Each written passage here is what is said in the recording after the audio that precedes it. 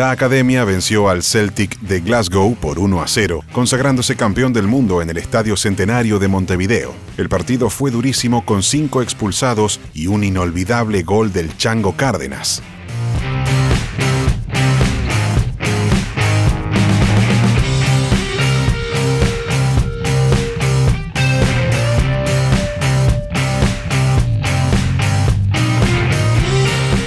Recordado equipo de José fue el primer club argentino en lograr un título a nivel mundial y aquella tarde salió al campo con Agustín Cejas, Oscar Martín, Roberto Perfumo, Alfio Basile, Nelson Chavay, Juan Carlos Rulli, Humberto Maschio, Joao Cardoso, Juan Carlos Cárdenas, Juan José Rodríguez y Norberto Santiago Rafo.